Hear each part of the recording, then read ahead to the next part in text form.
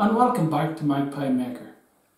Today I was in Lidl to buy some beans to go with my potatoes. And when I was there, I noticed this.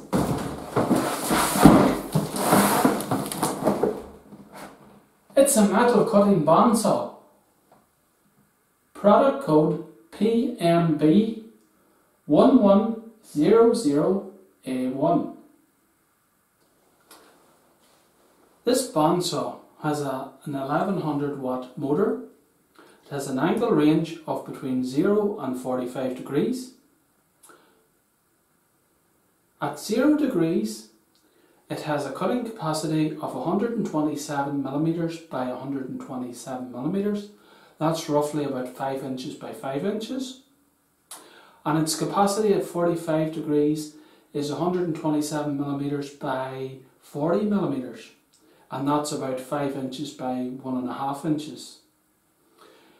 It runs at 290 RPM and the blade travels between 0 and 2.4 meters per second.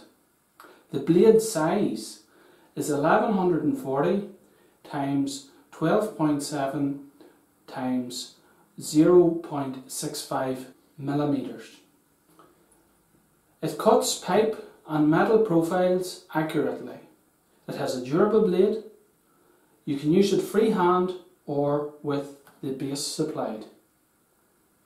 Okay, let's see what's in the box. Oh, I've just noticed on the case that the stand is attached onto it.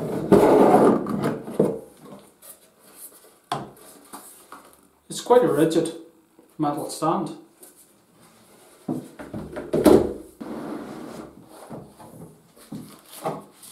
We have the instruction booklet. We have some wee bolts and an Allen key.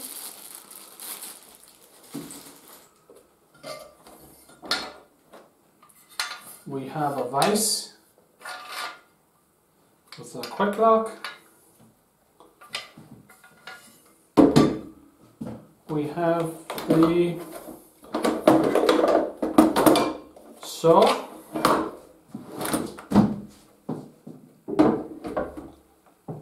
and we have a mounting bracket. So I'll just put this all together now to see what it looks like.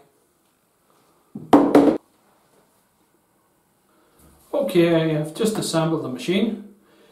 It has uh, two handles on it. There's one here and this front one here is adjustable and we can lock it in place with this wee thumb screw here so it leaves us a good solid grip on the machine.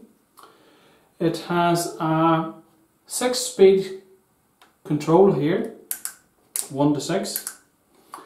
It has a trigger control here, we'll just give her a wee and it also has a wee LED light. I don't know if you can see that or not, hopefully you can. On the machine there's a lock here for the swing arm so when you raise the saw it automatically locks into place. Very important you don't try to force the saw down after this is locked. Just pull it to release it and then drop the saw back down again. There's also a lock for the blade or for releasing the tension on the blade here. Make sure it's in the upright position or the blade won't actually turn. Let's take it out to the workshop and give it a wee test and see what it performs like.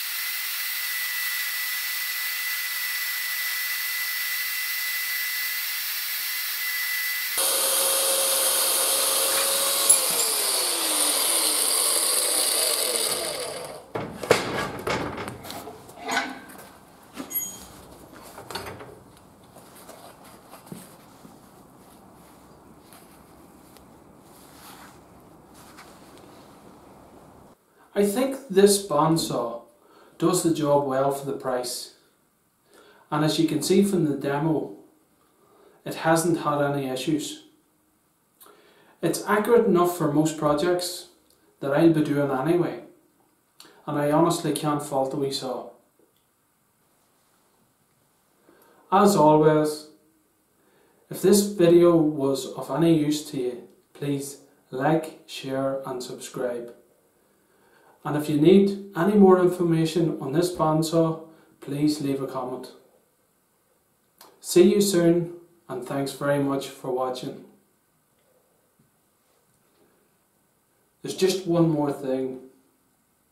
The bandsaw worked well, but the beans work better.